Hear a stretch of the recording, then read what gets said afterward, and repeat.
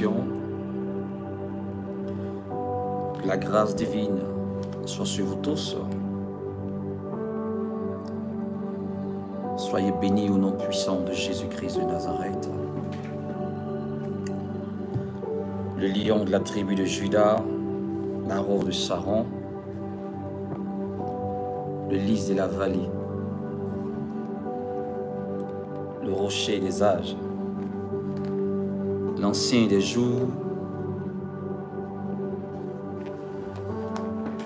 Soyez bénis. Alors, la vraie Pâque. Je ne serai pas lent, je ne serai pas lent du tout, c'est juste que j'ai envie de, de booster ta foi, j'ai envie de t'amener à, à cette rencontre. Voilà, avec le Seigneur Jésus-Christ, le Dieu d'amour, le Dieu trois fois saint. La vraie Pâque. Avant de parler de ce message, j'aimerais vous présenter une vidéo. Ce qui n'est pas la Pâque. Évidemment,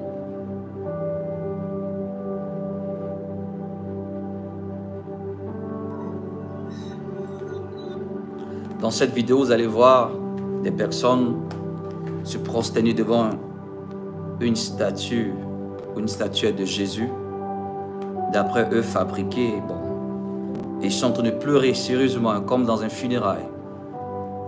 Dire que, en commémore la mort de Jésus à la croix, parce que la Pâque chrétienne, c'est la mort, la croix et la résurrection. Donc, eux, selon eux, voici comment ils sont en train de célébrer le Pâque. Regardez la vidéo. Ça se passe dans plusieurs églises religieuses. Chacun le fait à sa façon. Regardez cette vidéo d'abord. Si tu es sur Facebook que tu as envie de partager, euh, sois béni, euh, fais-le, mets les cœurs, voilà. Nous écoutons cette vidéo. Nous regardons et nous écoutons. Regardez.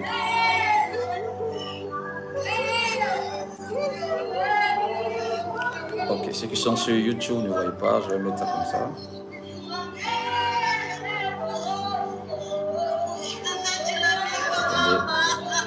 Aider des personnes. Voilà.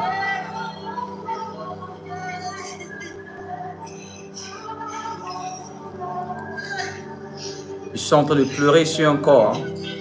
C'est la statuette de Jésus. Vous voyez? C'est du bois. C'est du bois. C'est du bois. Et ça pleure sur ce bois. Dans une église, hein. Vous voyez les femmes sont habillées en noir. Ça pleure. Regardez ici. Vous voyez cette vidéo, c'est du bois sculpté à un homme qu'ils appellent Jésus.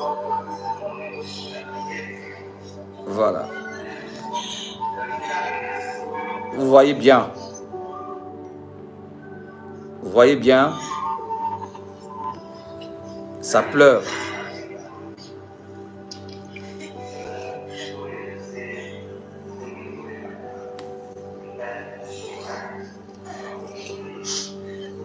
Ils sont très sérieux. Hein? Les femmes sont habillées en noir. Dans une église, peut-être anglophone, j'en sais rien.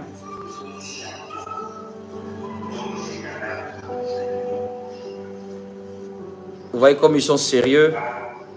Ça pleure. Voici la photo de cet homme. Regardez. Un homme prend le micro. Certainement, c'est un guide spirituel. Voici les images de Jésus dans cette photo. Et dans cette église, voici les images de Jésus dans cette église. Voilà. Ok, je crois que vous avez vu la vidéo. Donc, aujourd'hui, le monde chrétien célèbre la Pâque. Les religieux célèbrent la Pâque. D'abord, savez, vous le savez déjà qu'il y a une différence entre la Pâque juive et la Pâque chrétienne. Voilà. La Pâque juive, c'est la pratique du judaïsme, selon la loi de Moïse, qui n'a rien à voir avec la Pâque chrétienne, qui est pour nous Jésus-Christ de Nazareth, selon que l'apôtre Paul a dit dans 1 Corinthiens. Et nous allons lire cette parole de l'apôtre Paul. Pour ceux qui veulent partager, partager. Pour ceux qui sont sur YouTube, copiez le lien. Vous pouvez aussi euh, partager à vos frères et sœurs. Je ne serai pas long. Voilà.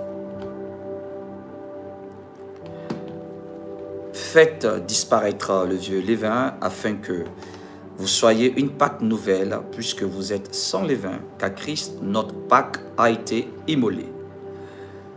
Célébrons donc la fête, non avec du vieux levain, non avec un vin de malice et de méchanceté, mais avec les pains sans levain, de la pureté et de la vérité. Voilà. Faites disparaître le vieux levain afin que vous soyez une pâte nouvelle, puisque vous êtes sans levain, car Christ, notre Pâque, a été immolé. Célébrons donc la fête, non avec le vieux levain, non avec un levain de malice et de méchanceté, mais avec les pains sans levain, de la pureté et de la vérité. Voilà. La nourriture de la Pâque est composée, bien sûr, la viande rôtie, du pain sans levain avec de lèvres amères. Voilà. Et tout ça a un symbole. Ça, c'est la Pâque juive. Et Christ est notre Pâque, selon l'apôtre Paul. Voilà.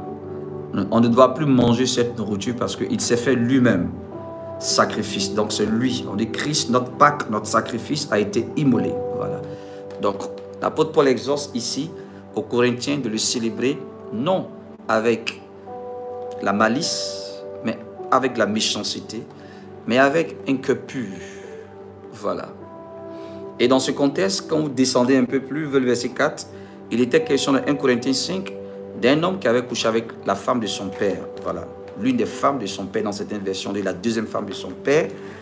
Voilà, parce qu'ils étaient dans une période où les gens faisaient n'importe quoi à Corinthiens. Et chacun appliquait la loi de Moïse selon qu'il voulait, chacun vivait n'importe comment. Voilà. Donc, aujourd'hui, le monde entier célèbre la Pâque.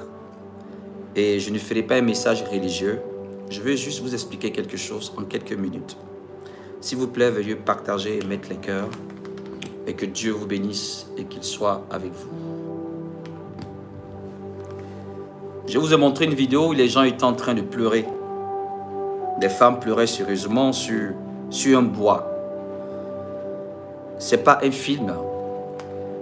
Ce ne sont pas des actrices de cinéma. Mais ça se passe dans une maison appelée l'église. Et vous voyez que les gens sont en train de pleurer sérieusement.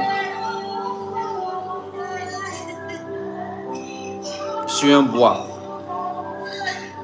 Sculpté à un homme, euh, et pas un homme, qu'on appelle Jésus. Vous voyez les femmes qui viennent, elles sont bien habillées en noir. J'ai envie de dire à une personne d'enlever l'image de cet homme qu'on appelle Jésus dans ta maison. Vu toi qui m'écoutes, tu as une image d'une personne qu'on appelle Jésus, enlève. Tu es en train d'attirer un esprit de divination. Si tu as une croix et puis le petit bonhomme dessus qu'on appelle Jésus crucifié, enlève. Tu risques d'attirer un esprit de divination.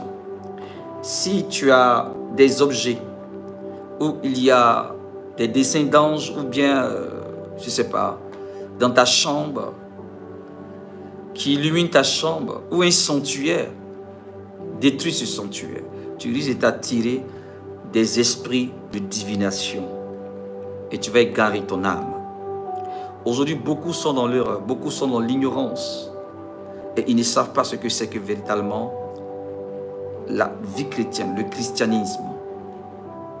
Donc, je suis en train de vous dire aujourd'hui que la Pâque n'est pas une fête où on vient s'exhiber, où on vient boire, s'enivrer.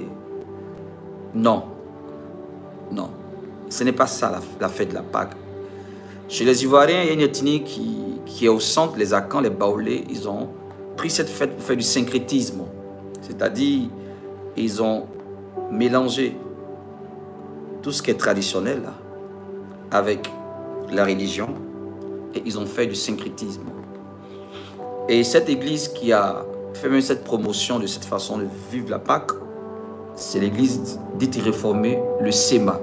L'église SEMA qui est une église qui est beaucoup fréquentée par le peuple baoulé. Donc il y a beaucoup de syncrétisme dans cette fête. Quand j'étais très jeune, très jeune, on partait à l'église catholique, nous tous, on attendait à la veille de la Pâque, on partait juste pour voir quelle est cette petite fille, ou bien on finit, on se rend dans les maquis, ou bien voilà. Pour nous, la Pâque, c'est boire, fêter. On avait 10 ans, 11 ans, voilà, on était des gamins, et puis on ne savait pas, voilà. L'église catholique à 12 ans, voilà. Et je pense qu'aujourd'hui, beaucoup de personnes ont encore cette mentalité-là. Ce n'est pas ça, la Pâque. La Pâque, c'est autre chose. La Pâque, c'est quelque chose qui t'amène à réfléchir et en même temps qui t'amène véritablement à prendre conscience que ta vie ne t'appartient pas, que tu vas rendre compte à Dieu tôt ou tard, parce que quelqu'un a payé le prix à ta place. C'est ça la Pâque. La Pâque n'est pas définie par un calendrier grégorien. Chaque avril, ça dépend des années, qui marque cet événement et qui demande à tout le monde de penser. Un jour, quelqu'un s'appelait Jésus-Christ, il est la croix. Non, c'est pas ça la Pâque.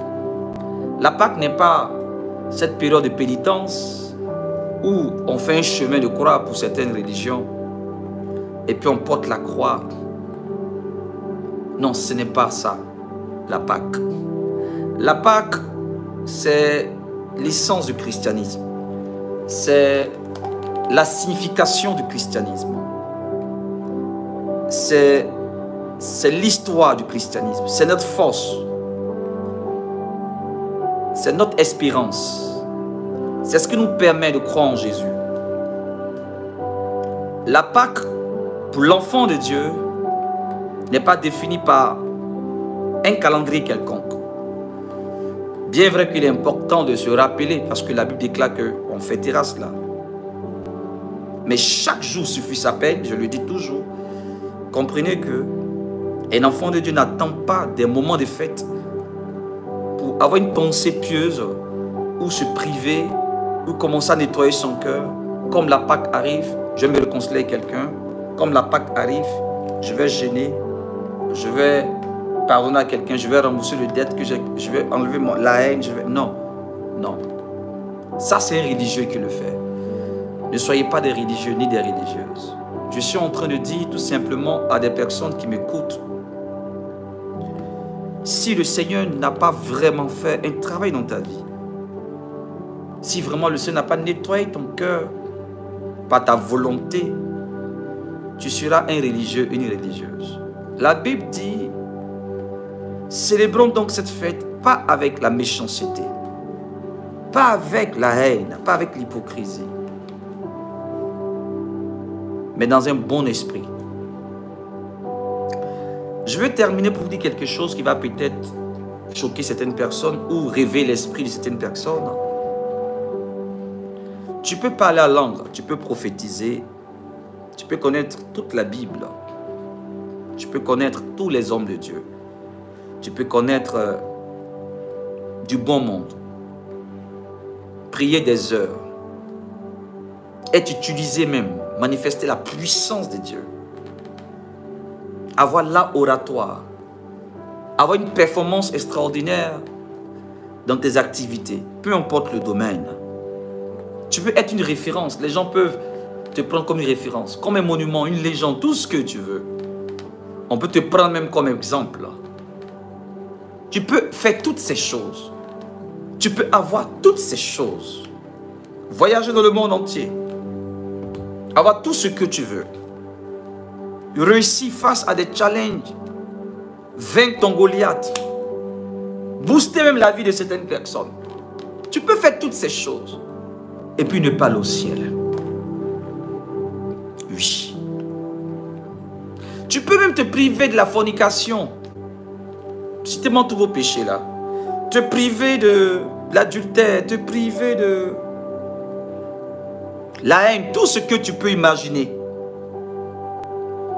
Et puis ne pas aller au ciel, malgré tout ce que je viens de citer. Être baptisé du Saint-Esprit par la langue. Donner ta dîme, ton offrande, soutenir un ministère, être zélé pour les choses de chanter à l'église, diriger un culte. Faites toutes ces choses et puis ne pas être sauvé. Avoir un grand ministère reconnu par les hommes. Être dans un grand réseau. Ta réputation est toujours soignée. On te prend comme exemple. Et puis ne pas aller au ciel. Avoir un grand parti politique.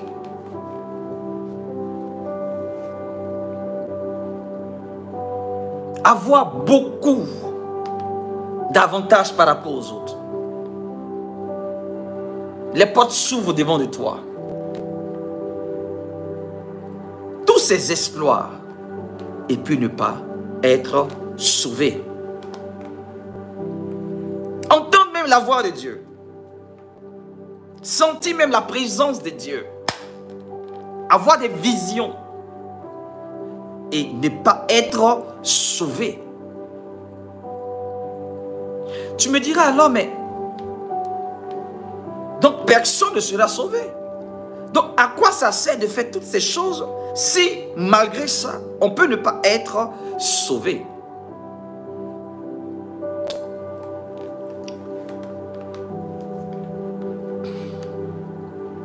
N'oubliez jamais ce que je vous dis.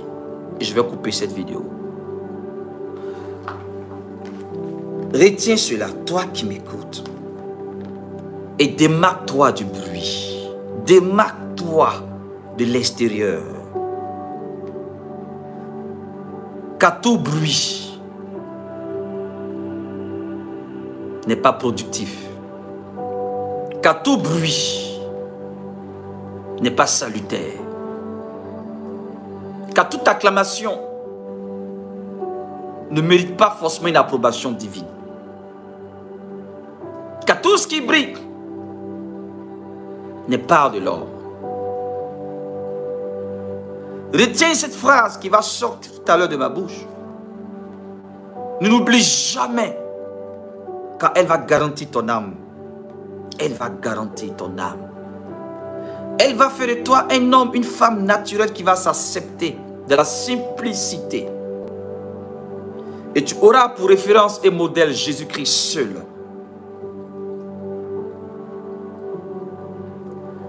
Est-ce que tu es prêt, est-ce que tu es prêt à écouter cette phrase, cette parole que tu ne dois jamais oublier.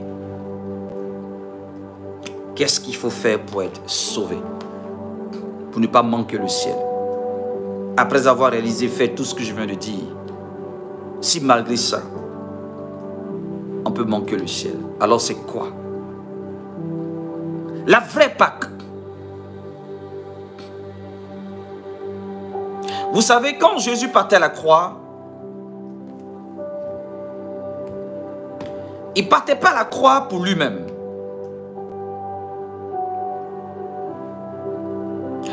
Et je me souviens, il a dit à une femme, arrête de pleurer pour moi. Pleure pour toi-même et tes enfants. Moi, non. La vraie Pâque. Il partait et il savait qu'il partait mourir pour des personnes qui ne valaient pas la peine, qui n'en valaient même pas la peine.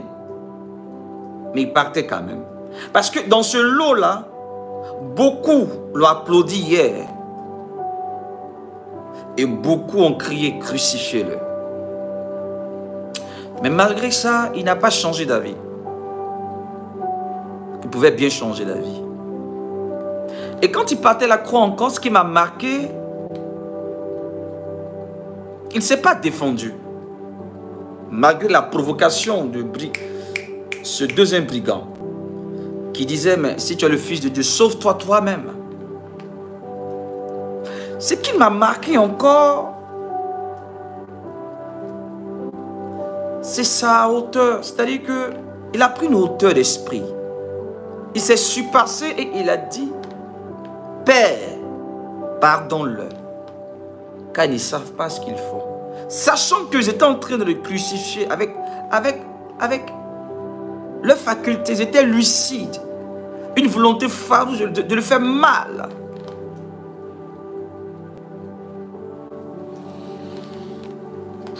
Et enfin, ce qui m'a marqué à la croix, c'est un païen soldat romain qui, malgré tout le bruit, il est resté là seul, regardant le corps crucifié sur le poteau, et il a fait cette déclaration. Écoutez-moi très bien. Assurément, cet homme était le Fils de Dieu. Vous savez, voici ces deux figures que je vais vous présenter. Le sentiment et l'émotion de Jésus pendant son chemin de croix jusqu'à sur le mont de Golgotha et la déclaration du centenier. Écoutez-moi très bien. N'oubliez jamais cette phrase.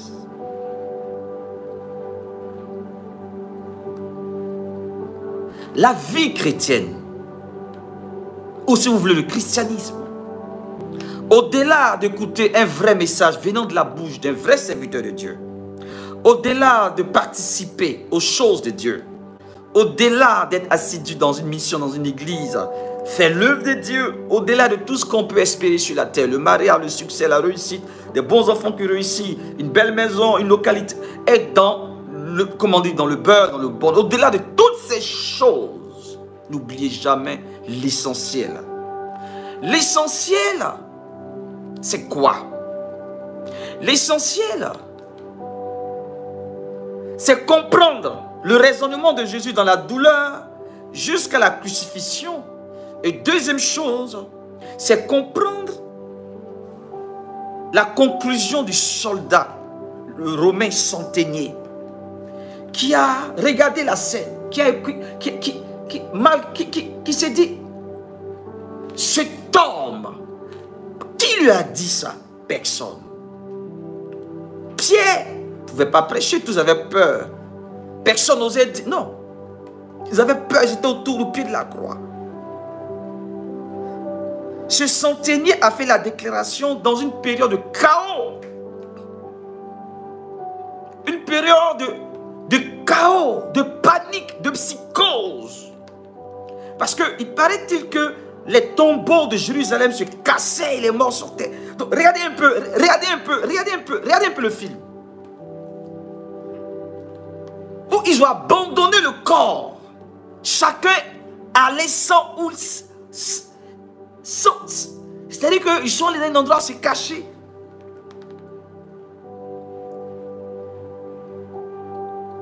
Et il y a un autre personnage qui rentre en scène, Joseph d'Arimathée. La Bible déclare que c'est un homme influent riche qui a réclamé le corps de Jésus pour le déposer dans le tombeau des riches.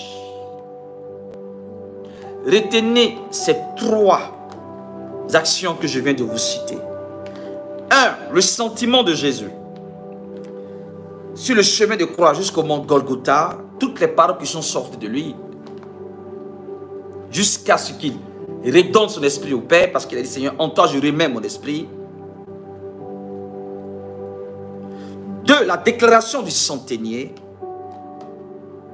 Et trois, l'action de Joseph d'Arimathée. Qu'est-ce que cela signifie? Numéro un, tu dois comprendre que le christianisme se résume dans un seul mot. La volonté de Dieu. La volonté de Dieu. Tout ce que Jésus disait était pour dire qu'il ne fait pas sa volonté. On dit semblable à un agneau qu'on mène à la, boucherie, il n'a plus ouvert la bouche. Il n'avait plus de volonté propre à lui. Il n'avait plus de vie. Il n'avait plus de personnalité. Il était comme une plaie. Depuis le chemin de croix, flagellé 40 coups moins 1, qui résume toutes les maladies du monde selon la science, pour dire que par ces maîtrises, nous avons la guérison. Homme de douleur habitué à la souffrance, il a plu à Dieu de le briser. Et Jésus te dit que si tu considères son sacrifice, si tu considères qu'il est mort pour toi, alors il te demande aussi de faire de même. C'est-à-dire que celui qui veut me suivre se, charge de sa propre croix. Quelle est cette croix? Ça n'a rien à voir avec le ridicule de ces religieux qui portent une croix et entraînent dans la rue pour dire non, de... non, sortez de la religion. La croix, c'est notre âme, notre vraie nature, notre moi, notre identité, notre personnalité brisée, déchirée, déchiquetée. On plus vie. C'est celui-là même qui dit, je n'ai plus de force pour haïr. C'est celui-là même qui dit, je n'ai plus de force pour être jaloux, jalouse. C'est celui-là même qui dit, je n'ai plus de force pour me défendre, justifier, pour encore nettoyer ma réputation. C'est celle-là qui dit, je n'ai plus de force pour garder des choses pour moi-même. Ta vie ne t'appartient plus. Tu es saisi. Tu es entre les mains de Dieu vivant. Tu ne fais pas ce que tu veux, même quand tu veux le faire. Pour toi-même, tu n'es pas heureux. C'est celui qui ne prend point, qui ne prend point plaisir à se réjouir du malheur, mais qui porte le fardeau même des inconnus. Qui ne se réjouit pas 365 jours sur 365 jours. Et qui, qui sait exprimer dans sa joie la douleur des uns et des autres. Et qui comprend l'essence de la vie, c'est-à-dire être au service du plus faible. Si vous n'avez pas compris ça, vous ne serez jamais donné gloire à Dieu. Alors je disais dans le premier point, tu peux faire toutes ces choses, mais si tu ne sais pas donner gloire à Dieu, tu pourras manquer le ciel. Tu peux vivre dans la sainteté selon les hommes, la sainteté selon la société, la sainteté selon la religion, selon l'église de ton pasteur. C'est-à-dire, tu fais des choses pour plaire aux hommes, tu fais des choses pour avancer l'œuvre de Dieu dirigée par ton pasteur. Mais au fond de toi, quelle est, quelles sont tes motivations? Les motifs qui nous poussent à faire des choses, des exploits. Si ces motifs ne sont pas purs, c'est-à-dire, si ce n'est pas dans le seul but de donner gloire à Dieu, s'il y a une seule goutte de notre personnalité qui doit s'affirmer, sachez-le, Sachez-le, mesdames et messieurs, nous avons déjà notre récompense sur la terre. Et le ciel sera fermé. Il y a une petite voix de Dieu. À chaque fois que tu voles la gloire de Dieu, cette voix vient te dire, réponds-toi. Et tu l'étouffes. Laisse la place. Tu l'étouffes. Ne monte pas si. Ne dis pas ça. Tu étouffes cette voix. Et tu aimes qu'on parle de toi. Tu aimes que c'est toi qui as raison. C'est toi. Toi tout le monde tourne autour de ta petite personne. Et tu chéris tellement tes principes, tu chéris tellement ta zone de confort. Et ta façon d'approcher le Seigneur propre à toi. Jésus est glorifié, lui, selon moi. Vous ne saurez pas donner gloire à Dieu et vous disparaître, la disparition de ta nature, de ton ego, C'est dans le brisement que Dieu va t'imposer pendant le parcours de ta marche chrétienne. Il va t'imposer ce brisement. J'ai vu des prophètes, des prophétesses, des anciens d'église se buter à cette épreuve du brisement, qui est l'essence de notre vie, de notre salut. C'est ce qui caractérise pour nous notre Pâque. Parce que la Bible déclare que Christ, notre Pâque, a été immolé. L'immolage, immolé, c'est sacrifier, c'est un sacrifice horrible, brusque qui arrache le sacrifié sans tenir compte de sa volonté.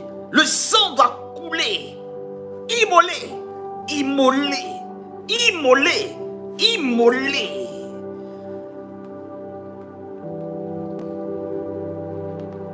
Vous ne comprenez pas ce que c'est que la vraie Pâque, ce renoncement de notre ego, ce brisement, où tu ne réponds pas à tout, où tu ne cherches pas de vaine gloire, où tu ne cherches pas à t'afficher, où tu ne cherches pas à forcer le destin, où tu ne cherches pas comme les arrivistes, tu sors du bruit. D'avoir raison sur toi. Laisse-les penser ce qu'ils veulent. Si vous n'avez pas compris l'essentiel de cette vraie Pâque, votre vie, peu importe la sainteté que tu vas manifester aux yeux des hommes, tu risques de manquer le ciel. Parce que Dieu ne sera pas glorifié dans ton cœur, pas le cœur extérieur de ta personnalité, dans ton tréfonds, le tréfonds de ta vie, c'est-à-dire le fond de ton fond.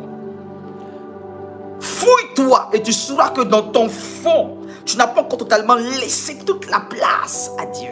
Tu as pris une place, même qu'elle soit petite, qui satisfait ton ego. Débarrasse-toi de cela et apprends-lui dans les gloires. Je vous dis la vérité. Au ciel, beaucoup de pasteurs, beaucoup de prophètes qui auront des grandes églises verront ceux qu'ils ont méprisés au ciel et eux à gauche. Ça fait peur. La Pâque n'est pas une fête où on gesticule, on boit, on s'en livre. Non. Ça doit amener chaque chrétien à se rappeler qu'il mourra aussi comme Christ. Que son corps va se décomposer, rongé par les asticots. Et son âme sera debout devant le grand trou blanc pour être jugé. Alors de ta vie, de ton vivant, qu'est-ce que tu fais? Parce que la vie que tu as ne t'appartient pas. Cette vie, Dieu te l'a prêtée. Tu dois rendre compte. Tu vas rendre compte.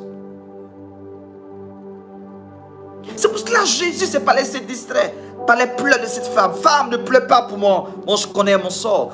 Pleure pour toi et tes enfants. Parce que Dieu n'est pas dans l'émotion, il est dans ses principes. Quand tu finiras de pleurer, est-ce que tu acceptes mon sacrifice?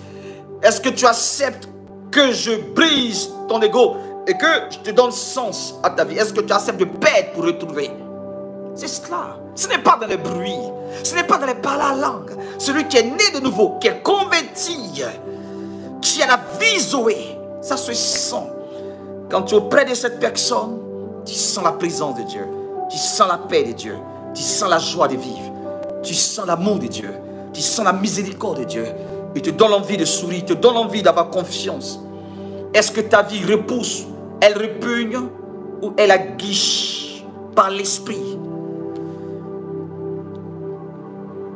N'es-tu pas cette personne qui s'efforce à sourire? N'es-tu pas cette personne qui s'efforce à vouloir faire du bien? Est-ce que tu le fais quand tu ressens? Est-ce que tu le fais parce que tu veux comprendre Est-ce que tu le fais selon tes humeurs? Est-ce que c'est naturel? Parce que tant que ton homme intérieur ne va pas rencontrer le Dieu du monde invisible, celui qui maîtrise l'information, tu peux prophétiser, tu peux prier, tu peux faire tout ce que tu veux. Ça, c'est la fade Dieu ne sera pas glorifié.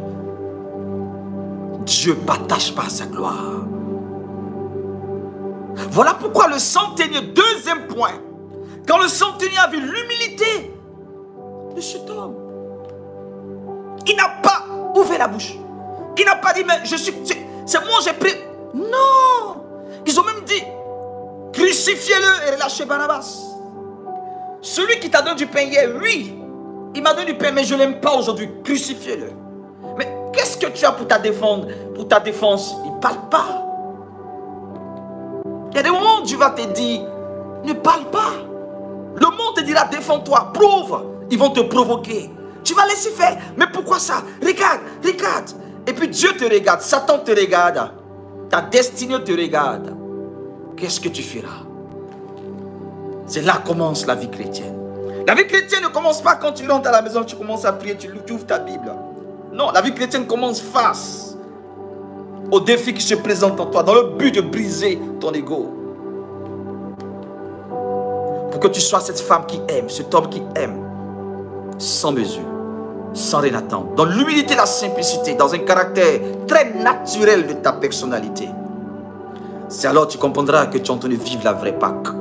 Comment sont-ils les chrétiens qui chantent, qui prient, qui prophétisent et dans le cœur rempli de méchanceté On peut le compter, ils sont tellement nombreux. Beaucoup sont fidèles à leur épouse, beaucoup sont saints aux yeux des hommes, beaucoup sont parfaits. Mais regardez le cœur, regardez les motifs. Christ ne partage pas sa gloire. Le centenier n'a pas eu besoin de Pierre. Pierre m'a fui, les disciples étaient dans la peur. Le centenier n'a pas eu besoin d'une présence, d'un homme de Dieu qui va l'appeler par vidéo, Facebook, mais YouTube pour dire Prie pour moi, parle sur ma vie. Vous avez l'occasion d'avoir la facilité d'entendre à travers les ondes, comme des messages comme ça, comme ce que tu entends à travers les ondes, à travers YouTube, à travers Facebook. Peu importe ta position, oublie ma personnalité. Ça ne m'intéresse pas de savoir que tu m'acceptes ou pas. Ferme les yeux, écoute même l'audio, même la vidéo en audio. Et dis au Saint-Esprit, est-ce que ces paroles sont de toi? Est-ce que ça peut guérir mon âme? Ouvre ton cœur à ces paroles. Ça donnera sens à ta vie chrétienne. Tu vas faire la part des choses. Tu vas plus courir après le bruit. Tu vas travailler ton intérieur. Comment tu peux expliquer un pasteur qui peut payer une femme pour aller tenter un autre pasteur? Or, cependant, il a été chrétien, il a été baptisé, il a été utilisé par Dieu. Il a eu de, nombreuses années de ministère. Il a bâti, il a pris pour des gens. Il a l'argent, il a l'autorité. Comment tu peux imaginer qu'un homme comme ça puisse avoir un esprit aussi pareil pour payer des gens pour aller détruire d'autres personnes par une concurrence déloyale parce qu'il veut être vu? Comment tu peux imaginer que des gens qui se disent serviteurs de Dieu salissent d'autres pour avoir l'estime des brebis, pour les accaparer? Comment tu peux expliquer des femmes qui prophétisent, qui ne parlent pas avec leurs frères et sœurs, qui sont remplis d'hypocrisie, de méchanceté, qui font des coups bas, elles ont des visions. Comment tu peux expliquer ces frères en Christ qui manipulent, qui viennent, qui présentent une apparence de piété et dans le cœur, qui manipulent, qui détruisent, qui grugent? Comment pouvez-vous expliquer que des gens qui disent je n'ai jamais connu la méchanceté. La pire des méchancetés que j'ai connues, c'est dans l'église. Comment l'expliquez-vous? Mesdames et messieurs, y a-t-il quelqu'un pour me répondre s'il vous plaît? Oh, ces personnes de l'extérieur, on les appelle les chrétiens, les zélés, le bishop, la prophétesse, celle qui prie, celle qui jeûne, celle qui fait tout, qui va des séminaires, qui sait chanter, qui est star, qui fait des concerts VIP, guichet fermé, qui est sur des affiches de magazines, qui voyage, qui a une popularité, une autorité. Mais comment pouvez-vous expliquer sa nature, son caractère? Expliquez-moi s'il vous plaît. Beaucoup des premiers seront les derniers. Et ceux que vous considérez comme les derniers seront les premiers. Les prostituées vous dévanceront dans le royaume des cieux. Que celui qui a des oreilles écoute ce que l'Esprit dit. La vraie Pâque, ce n'est pas le palais à l'encre. La vraie Pâque, ce n'est pas le baptême des eaux de feu. La vraie Pâque, ce n'est pas assister à tous les séminaires, les conférences, réciter la Bible. La vraie Pâque n'est pas de donner tout son argent. Dépouille-toi. Soutiens nom de Dieu, soutiens les veilles. Va aux orphelinats comme beaucoup qui sont déçus par les pasteurs finissent de dire Moi je donne plus mon argent aux pasteurs, c'est les escrocs. Je préfère donner aux pauvres, aux orphelins. Fais toutes ces choses, mon ami. Mais tant que Dieu n'a pas sa place, véritablement dans ton cœur, tu manqueras le ciel. La vraie Pâque. La vraie Pâque ne consiste pas à tout ce qu'on peut faire pour vouloir séduire Dieu, pour avoir une bonne image devant Dieu. Souvenez-vous du centenier. Dans quel état il a déclaré que cet homme est le Fils de Dieu? Tu sais quoi? La déclaration prophétique ou la conviction que tu dois avoir de Dieu ne doit pas être influencée par un homme de Dieu ou par une situation que tu vis. Or, beaucoup de personnes, après avoir vu un miracle de Dieu physique, ils attachent maintenant, ah, je crois maintenant en Dieu, que m'a donné un enfant, Dieu est vivant. Tu vois, ta croyance a été toujours basée sur des faits. Va au-delà. Sinon, tu risques d'être trahi. Le jour où tu ne vois plus, tu n'obtiens pas gain de cause, tu vas douter. Voilà comment ta foi vacille. Parce qu'elle n'est pas enracinée sur le roc. Tu as besoin de avant de croire. Tu as besoin d'un signe pour, pour t'affirmer, pour dire Dieu est là. Il m'a exaucé. Il m'a donné un enfant. Il a fait ça. C'est pas mauvais. Va au-delà. Je suis là pour te dire d'aller au-delà. Je suis là pour t'entrer dans une profondeur. Pour que tu te débarrasses du bruit, de la foule, du monde extérieur. Il y a beaucoup de distractions dehors. La vraie vie se passe à l'intérieur de ton cœur. La vraie Pâque. La vraie Pâque consiste de se dépouiller de tout ce qui ne glorifie, pas Dieu. La vraie Pâque, c'est de chercher à plaire à Yeshua Mashiach Adonai et rien qu'à lui. Et si tu cherches à plaire à ce Dieu puissant, tu vas dégager un parfum. Et dans ce parfum que tu vas dégager, tu vas trouver des gens sur ton chemin qui vont dire c'est une odeur nauséabonde. Mais Dieu seul sait que ça sent bon dans ses narines. Tu préfères que les hommes t'acclament et que Dieu te rejette? Ou que préfères-tu? Que Dieu dise, mon fils, ma fille, le parfum que tu dégages, ça sent bon. Et que les hommes disent, ça sent mal. Tu choisis quoi? Voici où vous vous trompez. Vous vivez trop par le regard des gens, trop par apparence. Et vos amitiés sont toujours conditionnées par des motifs d'intérêt aucune profondeur. Assez de personnes superficielles. Et vous êtes beaucoup dans les émotions, dans les passions, dans les choses qui n'ont qu'une profondeur. Vous jugez vite, vous frustrez vite, des décisions vite. Ça, c'est l'émotion, l'immaturité. Parce que tu n'as jamais creusé en toi, tu n'as jamais aspiré la profondeur vient par le brisement. Lorsqu'on accepte d'être façonné par Dieu, ça fait mal. C'est là que tu réalises que tu as toutes les capacités pour t'inventer et pour t'inventer. T'inventer et t'inventer. Mais Dieu te dit, tais-toi, accepte qu'on t'écrase. Celui qui est n'est pas celui qui n'a rien en lui, ce n'est pas celui qui ne peut rien prouver.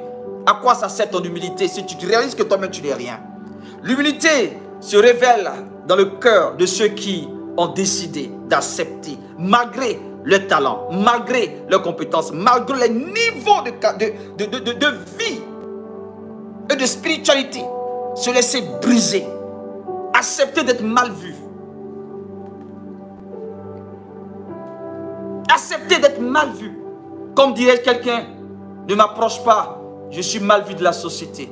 Ne me pousse pas, je suis mal vu. Ne marche pas avec moi, je suis mal vu elle m'a déjà catalogué, rejeté la société. Marche avec ceux qui sont bien. Non, ne m'approche pas. La vraie Pâque. Ça t'a jamais, ça, t'a jamais traversé l'esprit au-delà de cette phrase qui sort du bout des lèvres des chrétiens. Jésus n'est pas venu pour ceux qui sont bien portants. C'est une évidence qu'il soit avec les gens de mauvaise vie. Si c'est vrai, mais au-delà de ça, il y a quelque chose que tu ne sais pas. Les amis de Jésus étaient des personnes qui n'avaient rien à voir avec le siècle de tout ce qui est religieux, caractère judéo-chrétien. Ces amis étaient des personnes très loin, des, étrangers à la, loi de Moïse. Mais ils avaient seulement le cœur, comme Lazare, qui n'a pas été disciple ni serviteur, mais directement devenu ami de Jésus. Il a gradué des échelons. Le cœur peut faire de toi un ami sans forcément être serviteur ou servant de Dieu. La prostituée qui a cassé le parfum, elle est rentrée dans l'intimité de Jésus.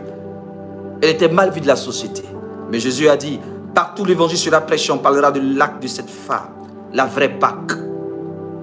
C'est l'expression de ton cœur, l'amour que tu exprimes pour ton Dieu. Quand quelqu'un aime Dieu et qu'il applique dans ses attitudes, ça se sent.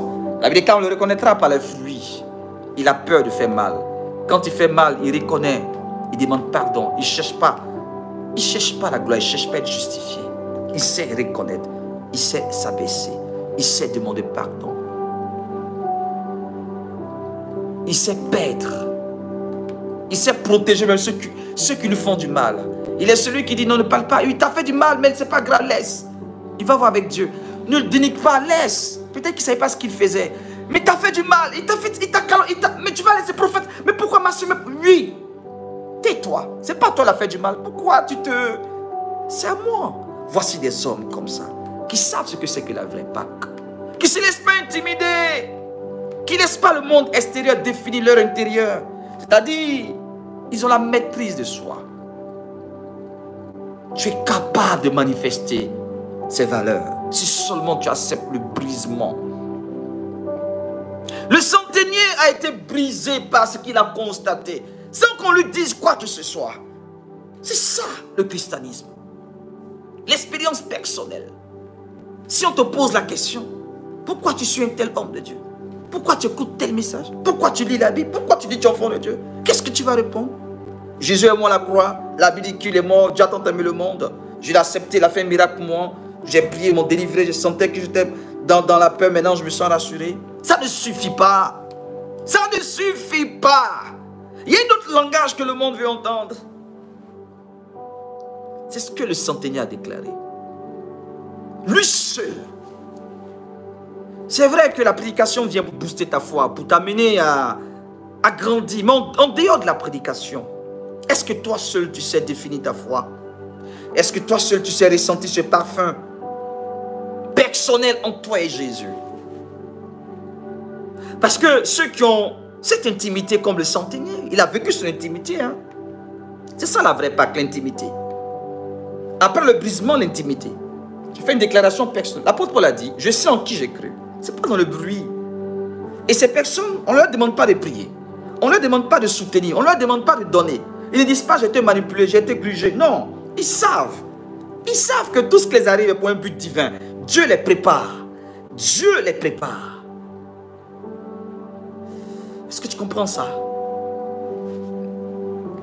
Troisièmement, l'arrivée de Joseph d'Arimathée. Arimathée représente ici cette figure qui prend la mort et qui la dépose dans des lieux élevés, selon les hommes. Il prend le corps mort, il le dépose dans le, dans, dans, le tombeau des riches. Jésus naît comme un pauvre, c'est dépouillé de sa gloire. Il meurt misérablement à la croix, c'est l'ignominie selon la Bible. Mais il y a un homme qui vient, lui donne-moi ce corps.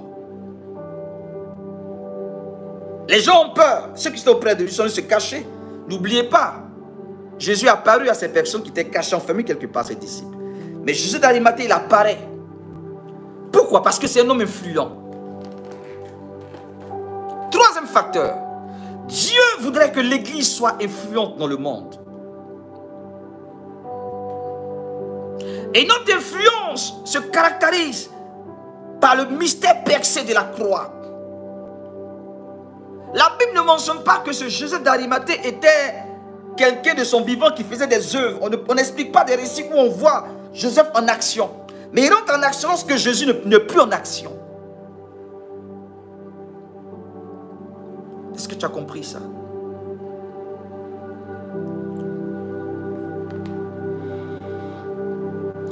Crois au ministère des noms de Dieu, quand tu crois que quelqu'un Dieu avec lui, ne pense pas que le mal ne peut pas l'arriver. Jésus a vécu le mal à ta place. Il a été mort. Cadavre, son corps était cadavre. Mais ça n'a pas empêché Jésus d'Arimathée de réclamer. Le tombé des riches est payant, hein? c'est pas cadeau, c'est pas gratuit. Il a déboussé de l'argent. Qu'est-ce que Christ pouvait lui donner? Un corps. Mais vous, vous s'aimez là où vous avez votre intérêt. Vous s'aimez là où vous pensez que les choses peuvent aller. Mais il allait au-delà de l'apparence. Il a dit, mes yeux voient un corps, mais mon âme voit le salut du monde. Il ne mérite pas ça. Ce que je peux faire. À mon humble vie en tant qu'un homme influent, je peux réclamer son corps pour dire que cet homme fait, il fait partie d'une famille de noblesse.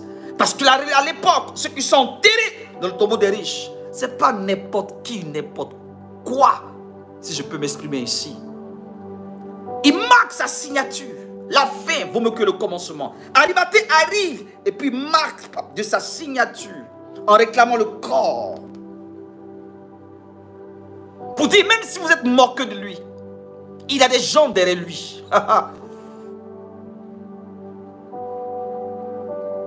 ne dit-on pas que c'est pendant les funérailles d'un homme, tu sauras s'il était grand de son vivant? C'est parce que la société nous impose. Alors José d'Arimathée a voulu exprimer cela, la vraie Pâque, où tu donnes pour relever la gloire de Dieu dans la vie de quelqu'un qui est vu comme mort? Mais toi, tu crois à son destin, tu crois à son action. Oh, vous, lorsque l'homme de Dieu a attaqué, une seconde de Dieu a attaqué, un frère évidemment difficile, c'est là où vous fuyez. Tu es sûr que tu vis la vraie Pâque Tu es sûr vous allez là où tout est beau, tout est déjà fait, où il n'y a pas de challenge, où il n'y a pas de combat. José d'Arimathée arrive le corps de Jésus est inerte, sans vie, ne peut plus prophétiser, ne peut plus dire recevoir. Il est mort là. Cadavre. Et c'est là lui rentre en scène. Donne-moi le corps. La vraie Pâque. Tu sais, donner vie à un corps. Le corps symbolise l'église qui est morte. Oh tu dois réveiller l'église par ton audace, par tes relations, par ton engagement, par tes finances, par ton intelligence, pour dire, réclamer, donnez-moi le corps. Je prophétise que tu sois le Joseph d'Arimathée de ta destinée. Femme, homme, vous qui m'écoutez, recevez ce message prophétique, la vraie Pâque. Si tu as compris ces trois éléments que je viens de numérer, alors tu comprendras que la Pâque n'est pas ce que peut-être on t'avait prêché. Ou ce que tu vois. Ou dans les églises, je, n'ai rien contre. Où on fait des uniformes, on organise des agapés, on célèbre, on dit merci à Dieu, on jubile, on rend témoignage. C'est bien beau. Mais je vous en prie, allons au-delà de tout ce qui est fait charnel. Allons au-delà. La vraie Pâque, c'est dans le silence de Dieu.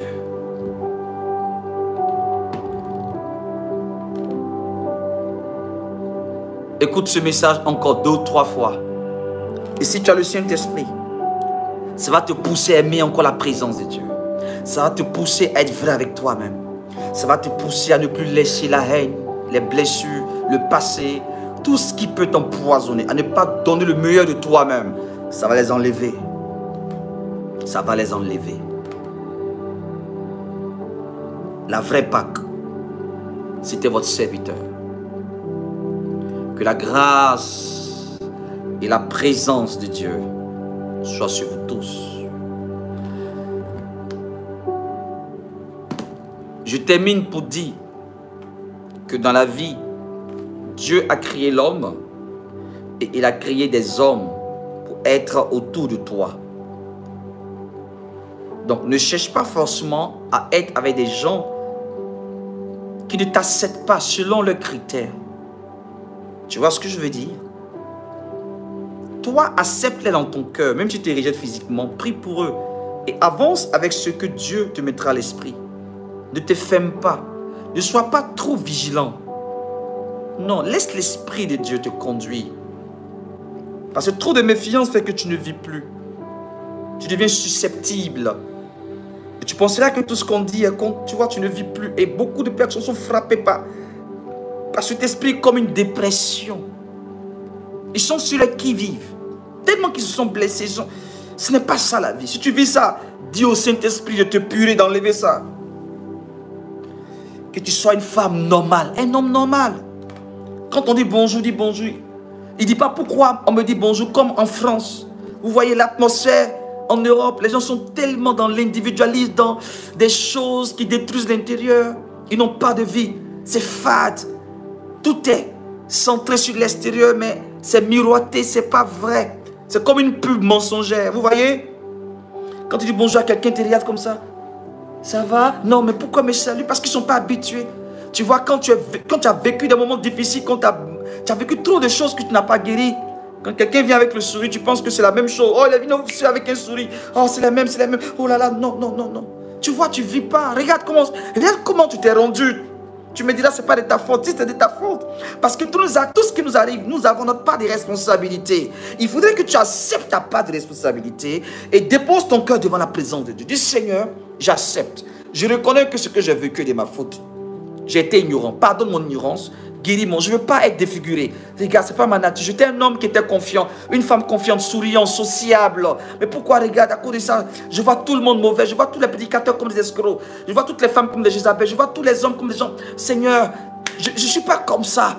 Je veux vivre à l'aise dans ta présence. Je veux vivre à l'aise dans un bon esprit. Je veux, même si ce monde est hostile, même si ce monde est comme dans un film de zombies, mais je crois que ton esprit nous permet de surmonter voilà pourquoi tu nous dis de, ne pas nous conformer au cercle présent, mais d'être transformé par le renouvellement de l'intelligence. Mais si ton intelligence n'est pas renouvelée, comment tu vas vivre dans ce monde? Mais si tu dis, dis pas au Seigneur, comme Esaïe 43, 18 à 19, ne pense plus aux événements passés. Ce qui te ronge, ton passé. Et souvent, tu t'en veux encore. La culpabilité, tu dis, mais pourquoi j'ai pu faire ça? Comment je me suis laissé manipuler? Oh, J'ai été fort, j'ai été con, excuse-moi pour l'expression. Pour les femmes, monsieur Tom, oh là là, j'ai été stupide. Tu n'as pas été stupide, tu n'as pas été. Tu as été simplement cette personne qui devait vivre ça. Et à travers ça, tu dois comprendre que Dieu veut construire un caractère. Accepte et avance. Arrête de te culpabiliser, de te morfondre Sors de l'auto-victimisation et passe à l'autodétermination. Ça, ça devait m'arriver. Je ne suis pas mieux que les autres. Merci Seigneur. Je passe à autre chose. Voici la vraie Pâque. Si vous sortez de toutes ces choses, vous allez vivre la vraie Pâque.